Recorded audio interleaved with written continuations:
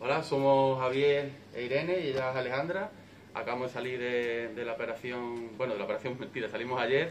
Hoy le han quitado ya los, puntitos de los ojos a Alejandra y mira qué, bien está, está estupendamente.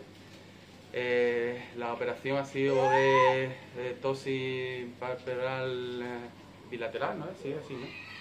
Y nada, estupendamente. Ayer estaba ya muy bien, durmió muy bien con los ojitos tapados, pero nada, estupendamente. Y nada, gracias a la asociación que nos, ha, nos han ayudado bastante con el, con el tema y nos han informado de todo el proceso y lo hemos podido hacer bastante rápido y, y estupendo. Estamos muy contentos.